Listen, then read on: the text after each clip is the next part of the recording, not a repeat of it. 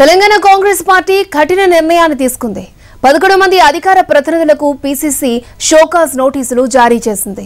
వివరణతో సంతృప్తితో చెందితే ఓకే లేదంటే చర్యలు తీసుకునే అవకాశం ఉంది. తెలంగాణ కాంగ్రెస్లో వివాదాలు రగులుతూనే ఉన్నాయి.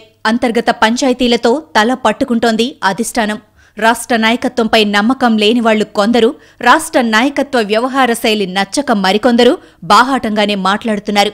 ఇది కాంగ్రెస్లో అంతర్గత ప్రజాస్వామ్యమని చెప్పుకున్నా పార్టీకి తలనొప్పిగా మారిపోయింది.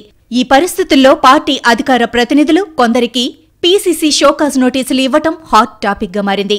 తెలంగాణలో కాంగ్రెస్ పార్టీ సంస్థాగతంగా మరింత బలోపేతం చేయాలని అనుకుంటోంది. గీత దాటిన వారిపై చర్యలకు ఉపక్రమిస్తోంది.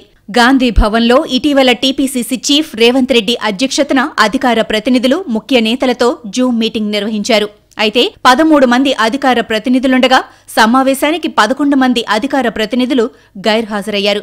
దీనిపై పీసీసీ ఆగ్రహం వ్యక్తం చేసింది. వీరు హాజరు కాకపోవటానికి గల కారణాలపై వివరణ ఇవ్వాలని షోకాజ్ నోటీసులు పంపించింది పీసీసీ. జగ్గారెడ్డి కూడా ఈ జూమ్ సమావేశానికి హాజరు కాలేదు. జూమ్ ద్వారా సమావేశం ఏర్పాటు చేయటమేమిటని బాహాటంగానే ప్రశ్నించారు.